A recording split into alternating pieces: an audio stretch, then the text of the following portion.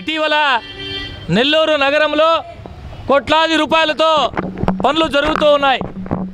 ఒక ప్రధాన ప్రతిపక్ష పార్టీగా ఇద్దరు శాసనసభ్యులు కావచ్చు నగరపాలక సంస్థలో డిప్యూటీ మేయర్ గారి దగ్గర నుంచి మేమందరం కూడా స్వాగతించాం అయితే గత వారం రోజుల నుంచి స్వయంగా మున్సిపల్ శాఖ మంత్రి ఉదయం పూట నగరంలో పర్యటిస్తూ పోయిన ప్రతి దగ్గర ఈ రోడ్డు బాగాలేదు దీన్ని తవ్వేయండి ఈ రోడ్డు ఈ విధంగా ఉంది దీన్ని తీసేయండి నాణ్యత ప్రమాణాలు లేవు.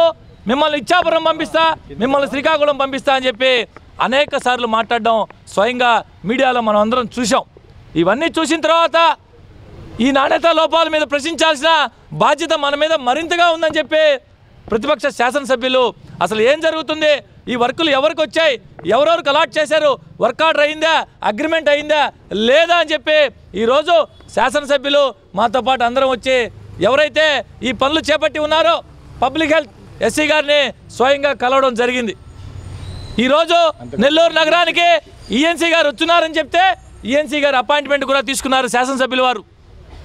పది గంటలకు రమ్మని చెప్పి విషయం తెలుసుకొని తొమ్మిది ముక్కాలకే కారుకి వెళ్ళిపోతూ ఉండేది దొంగలాగా. తెలుసుకొని హుటాహుటిన శాసనసభ్యులు అక్కడికి వచ్చి ప్రశ్నిస్తే మా అధికారులు మీకు వివరణిస్తారని చెప్పి కారుకి వెళ్ళిపోయాడు. మీరందరూ కూడా చూశారు. ఈరోజు చాలా స్పష్టంగా మీ ద్వారా నెల్లూరు ప్రజలకు అందరికీ కూడా తెలియజేస్తున్నాం. ఎన్నోసార్లు చెప్పారు ఈ గతంలో కూడా అభివృద్ధికి మేము వ్యతిరేకం కాదు. అభివృద్ధి పేరులో జరిగే దోపిడీ అభివృద్ధి ముసుగులో జరిగే దోపిడీ వ్యతిరేకం.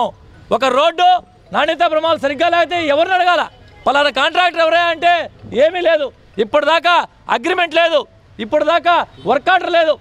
గతంలో నగర ప్రథమ పౌరుడు మేయర్ అజీజ్ ఇంటి ముందు పది లక్షల రూపాయలతో వర్క్ ఆర్డర్ లేకుండా రోడ్డు వేస్తే ఈ కూడా డబ్బులు రాలా. ఆ అధికారులు విజిలెన్స్ ఆఫీస్ చుట్టూ తిరుగుతూ ఉన్నారు.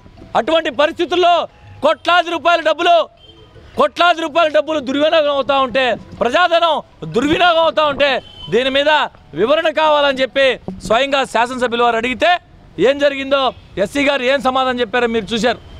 క్లియర్ కట్గా సిప్పు కింద ఏ ఏ వర్కులు చేపట్టాలో ఏ వర్కులు టెండర్ పిలిచారో అన్నీ కూడా అఫీషియల్గా ఉన్నాయి. నోటి మాటలు కాదు. ఏ వర్కులు టెండర్ పిలిచారో ఏ వర్కులు పైకి పంపించున్నారు అనుమతుల కోసం. అయితే ఇప్పుడు స్వయంగా అధికారులు ఏం చెప్తున్నారు? సిప్పు దగ్గర సిప్పు ద్వారా ఒక్క పని కూడా చేపట్టలేదు అని చెప్పి చెప్పడం జరిగింది. లిఖితపూర్వకమైన హ- కావాలా మాకు అని చెప్పి ఎమ్మెల్యే గారు అడిగితే సార్ ఎమ్మెల్యే గారు నేను మీకు అది పంపిస్తాను. దయచేసి అర్థం చేసుకోండి అని చెప్పి స్వయంగా ఎస్సీ గారు చెప్పారు.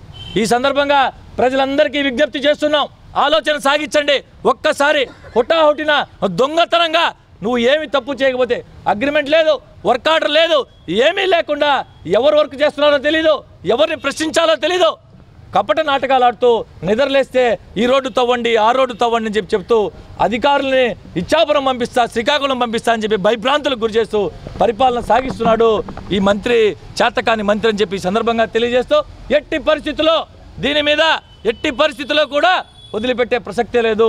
ప్రజలకి పారదర్శకంగా చేయాల్సిందే. చేస్తున్నటువంటి అన్ని పనుల్లో కూడా నాణ్యతా ప్రమాణాలు పాటించాల్సిందే.